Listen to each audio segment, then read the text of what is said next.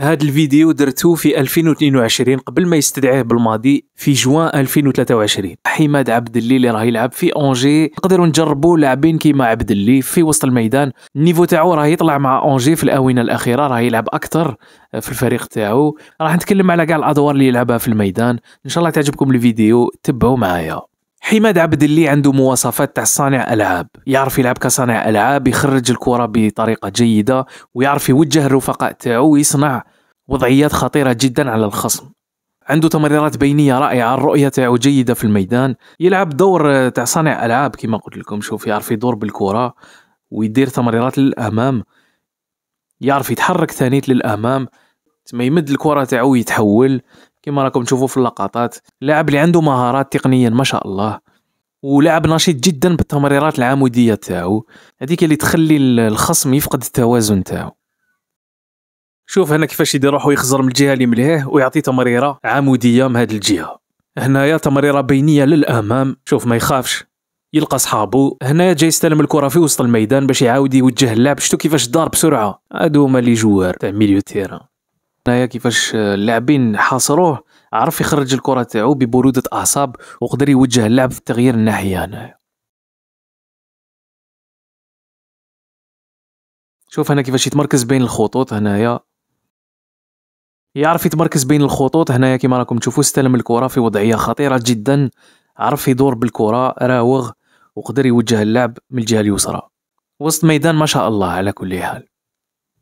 شوف هنايا كيفاش يضرب طلق قبل ما يستلم الكره دار سكان تاعو. بعد بسهولة راوغ الخصم اللي جاي يضغط عليه.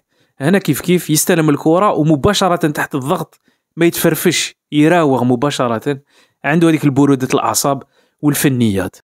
يشارك في العملية الهجومية ما يقعدش ثابت. يجي يتبعك يعطي لك البالون يعاود يتحرك. تسمى يعطي لك الكره ويعطي لك حل من بعد. هنا الخصم استعمل الخشونة معاه لكن يريزيستي في لي مليح في الصراعات. عنده قوة بدنية الله يبارك.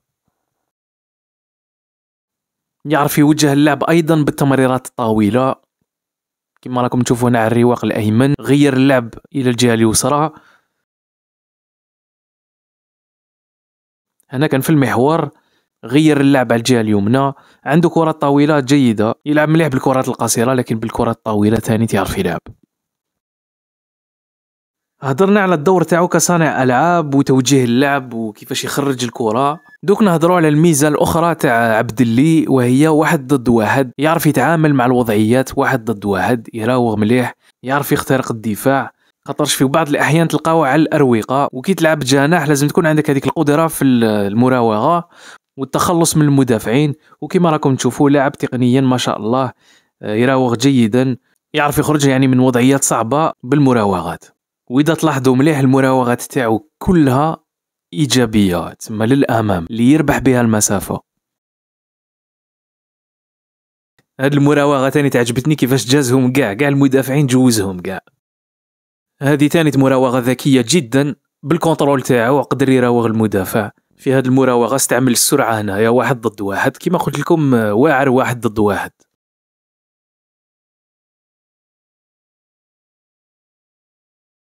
حماد عبد اللي ما يكترش يعرف يلعب بلمسة وحدة.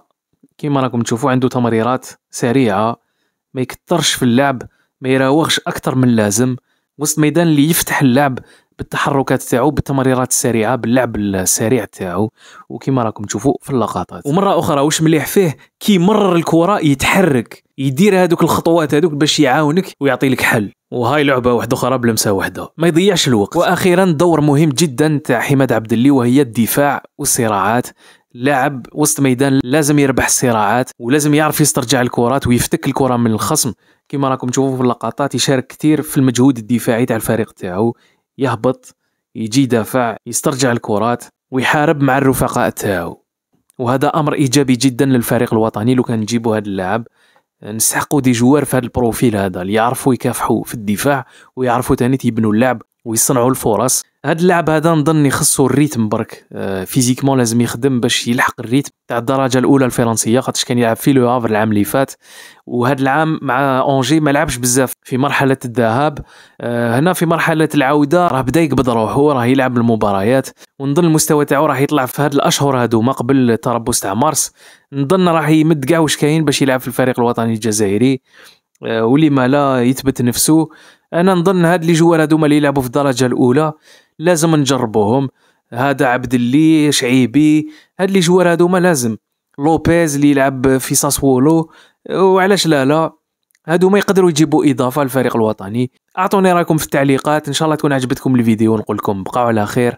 صحيتو الخوا مرة أخرى باش نوضح الأمور هاد الفيديو درتها في 2022 قبل ما يستدعيه بالماضي المرة الأولى استدعاه في جوان 2023 تما كنت déjà ندير سلسلة جيل جديد من قبل بعد الإقصاء تاع الكاميرون وكذا باش يجي في تربص مارس تاع 2023 بصح ما ما عيطلوش هذاك الوقت عيطلو حتى لجوان 2023 لعب مع أوغندا في ما الماتش الأول تاعو. mais voilà باش نقول لكم بلي كنت عندي نظرة déjà على هاد ال joueur من قبل باش نجيبوه خاطر يقدر يفيدنا في, في ال milieu terrain.